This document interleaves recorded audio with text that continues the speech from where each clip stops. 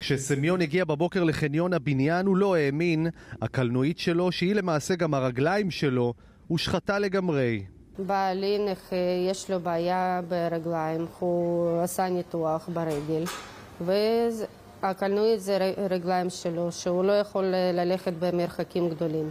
זה קרה בארבע לפנות בוקר לפני כשבועיים, אז מצלמות האבטחה בבניין באילת תיעדו, תאמינו או לא, את השכן של סמיון. קיבלתי שוק. זיהיתי את הבן אדם אחרי שראיתי את ההקלטות של המצלמות. אני לא סכסכתי איתו, לא כלום. אולג לבוב, בן 58, רעול פנים, עובר צמיג צמיג, דוקר וקורע, נוקם מכל הלב.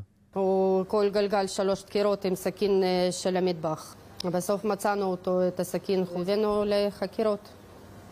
הסיבה תופתעו לדעת, אולג השכן מהקומה שמתחת לא אהב את נביחות הכלב של סמיון ומרינה והחליט לנקום במה שהכי יכאב לסמיון, אמצעי הניוד שלו. כואב, זה לא נעים, תראי, זה אנחנו לא, לא סכסכנו איתו לכלום.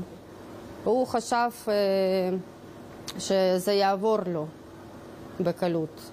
ובסוף תפסו אותו ולא עבר לו, הוא חמישה ימים היה בבית סוהר ולא רואה לא אשתו, לא משפחה, ישן בבית סוהר כמו כלב.